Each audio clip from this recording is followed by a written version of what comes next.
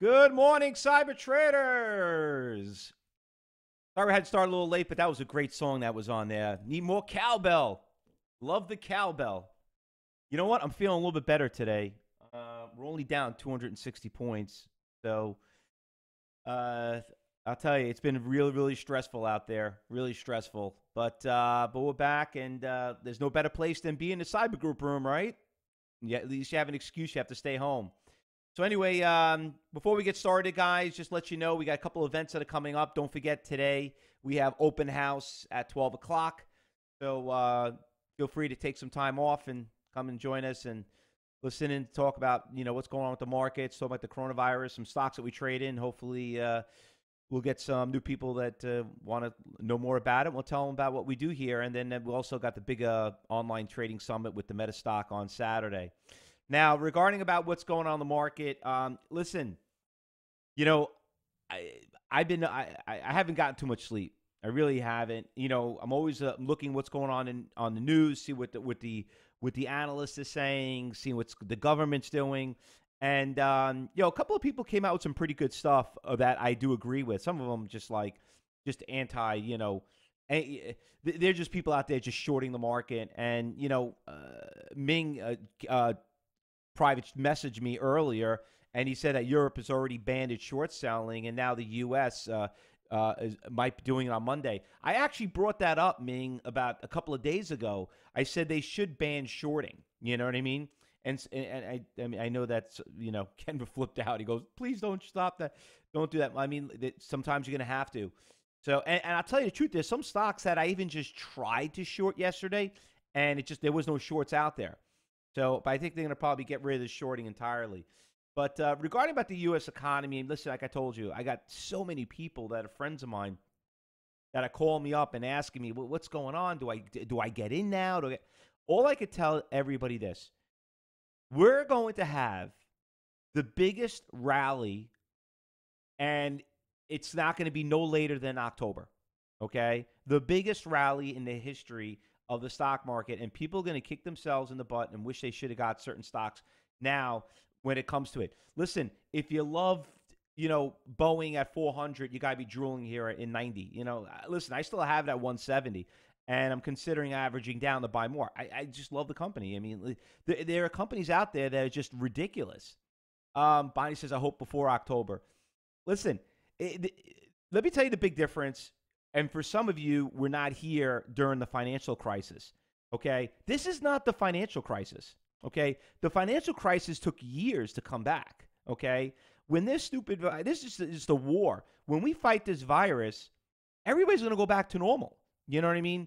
And hopefully it's sooner than later and people don't get too hurt. But the, I, I, I am going to predict, you heard about the government's going to probably come out with a new, a trillion dollar plan. Honestly, you're going to need probably 3 trillion and they got the money to do it. And it's going to happen. Trust me, it's going to happen. They will not let this beat us. You know, we're we're the you know, we're the strongest company.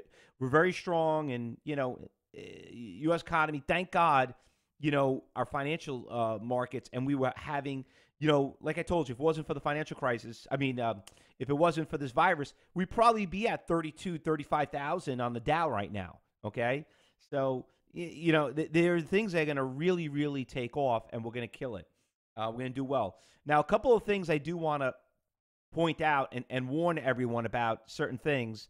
Uh, first of all, we're looking at Blue Apron right here. Okay, we killed it yesterday with Blue Apron. Okay, um, Blue Apron went from three dollars to twenty five. I'm getting people calling me up. They're like, "Why don't you tell me that sooner?" Well, listen, you know what? If you went on my if you if you if you subscribe to my Instagram, you know now I'm posting everything on Instagram, my morning watch list. You know, for some people that are out there. So if you're not in here in the morning, at least any of you guys uh, use Instagram? Anybody out there on Instagram have it? You guys subscribe to um, subscribe to us? Nope, nope. I know it's like a younger generation, right? A lot of people like. Uh, it's uh, Cyber Trading U. Cyber Trading University. Just look up our name. I think that's what it is, right? I don't know. My, like I said, all these kids do for us. But, oops, looking at it right now. Yeah, just go to Cyber Trading University and you'll find us.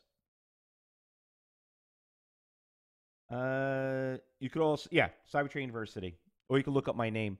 Now, regarding about a couple of things I want to point out. First of all, most important, all right, Blue Apron. How does a stock go from three to 25 in three days? Uh, Twitter, my Twitter feed is Cyber Trading U.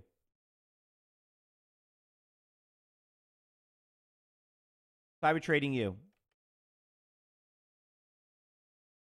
Put it in there.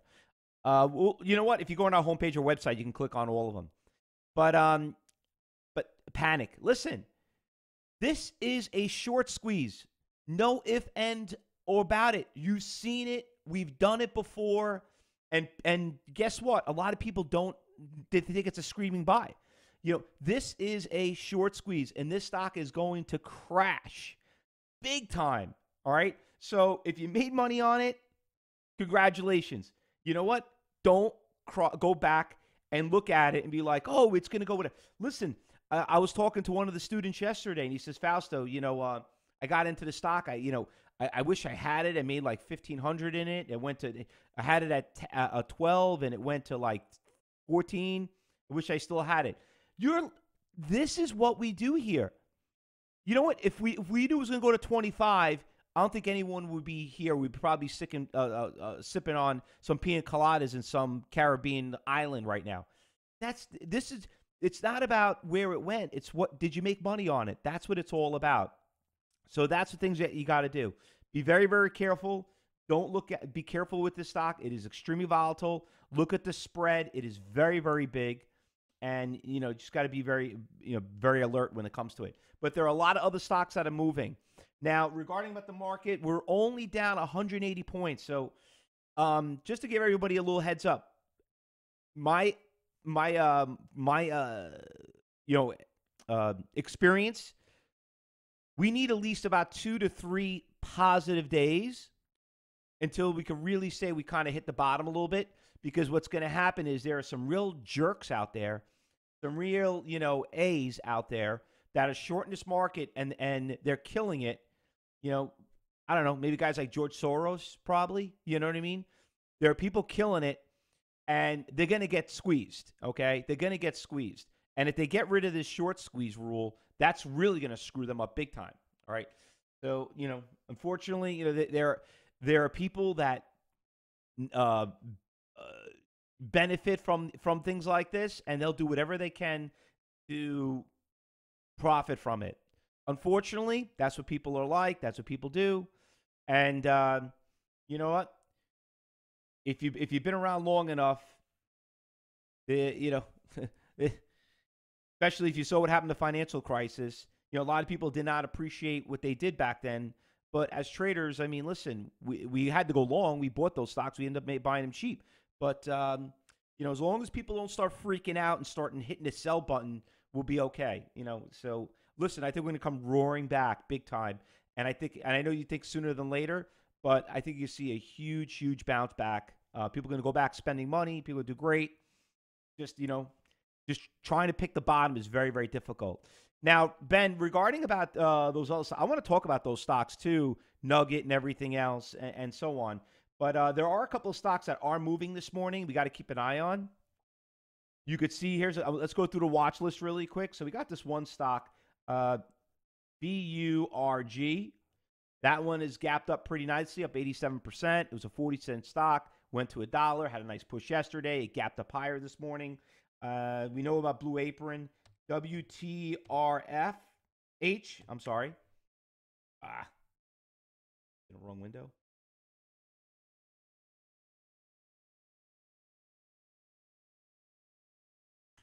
There we go. This one is also uh, going up pretty nicely. It's f- kind of funny, but it's kind of holding here pretty strong. I, I, didn't know what the hell this company did. I had to go check the news just out of curiosity. Like, because um, this is a stock that we traded yesterday, and it was stuck around two dollars, trading some crazy shares. And it was probably a, you know, I was thinking about holding it overnight because it was pretty cheap. Seeing what was going, apparently they do they're doing a deal with all the restaurants about home about delivery, you know, uh, free delivery and stuff like that. And this stock and this company obviously has a lot to do with it. So, uh, but once again, I, you know, be very careful with these stocks, guys.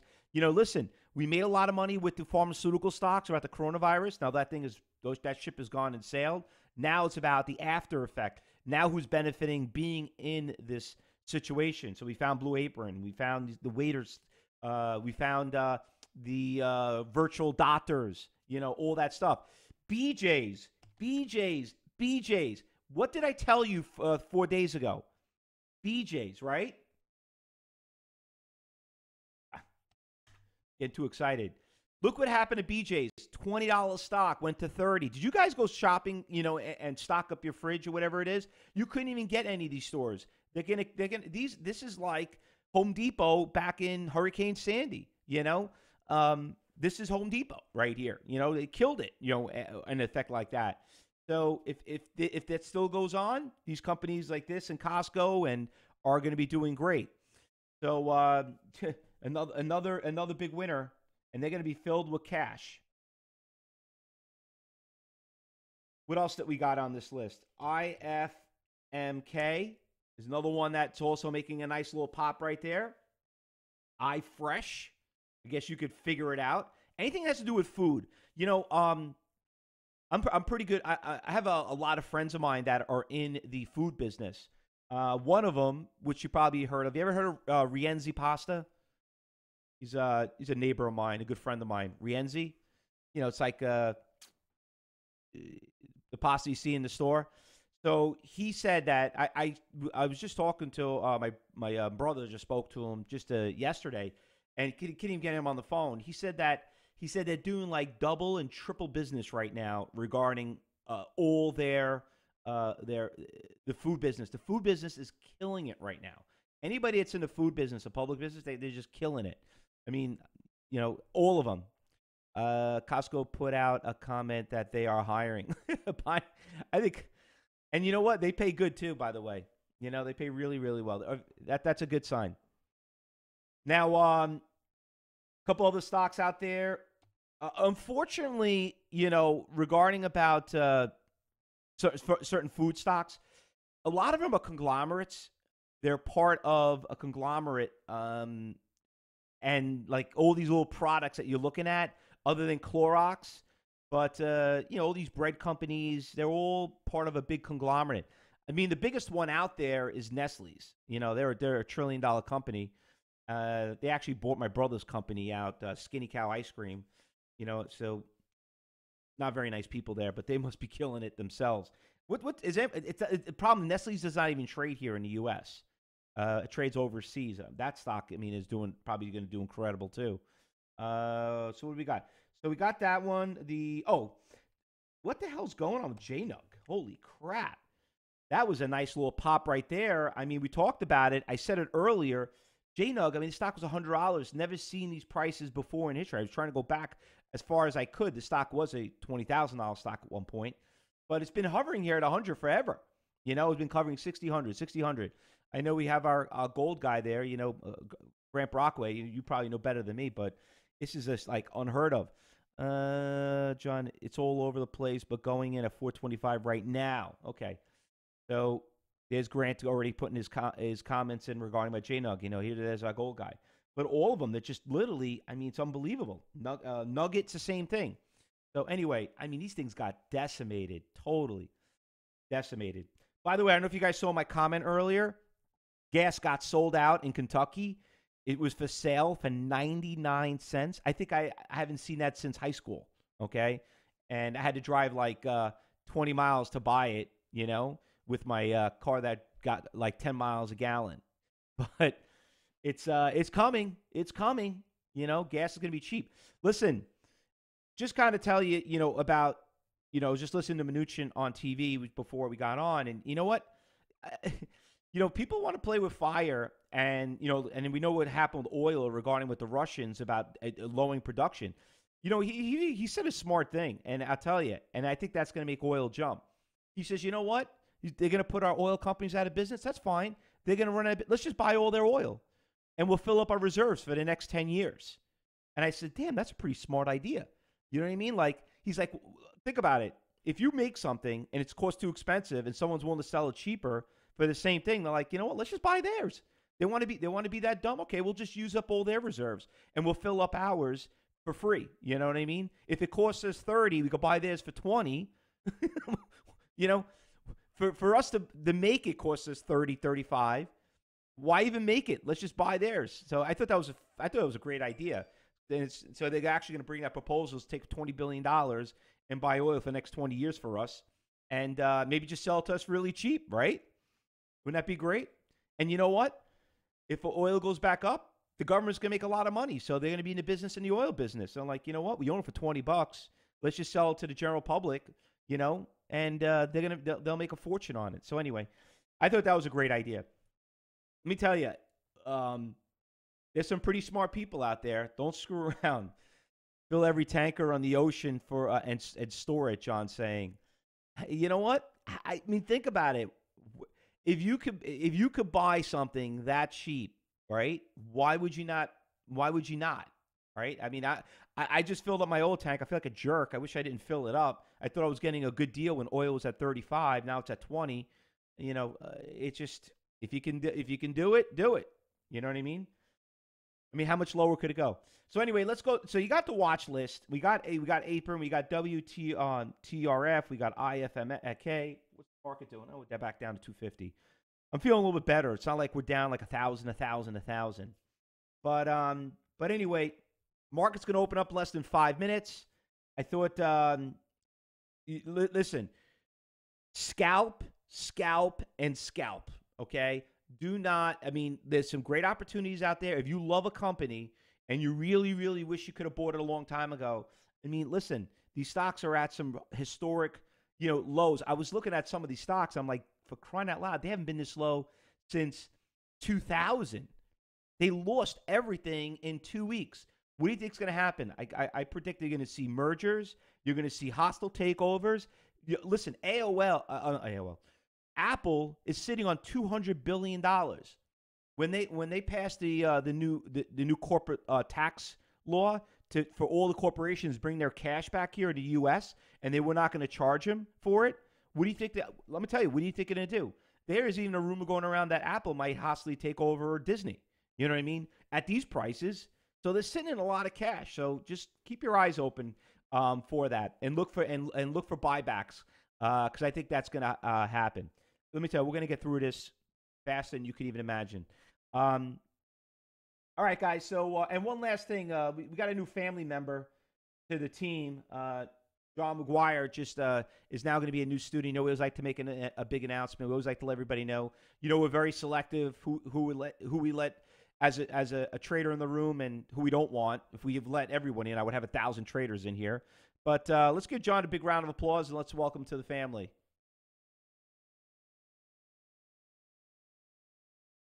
Oh, there we go. All right. All right, guys. So good luck, and uh, don't forget, you got class today. I know we had a little problem with uh, with the portal page. Listen, everyone's working remote for the safety of my staff, so uh, just want to be able to make sure you know we're, we're we're on it. All right. So we got our IT guys on top of it, so we'll try to get that up and hopefully have it up sooner than later. All right. In the meantime, enjoy class and uh, see something, say something, guys. And we'll see you back at 12. See you in class. And then don't forget uh, to register for the MetaStock uh, we- weekend uh, event. Good luck, everyone. Happy trading. We'll start commentating about five minutes once the market opens up.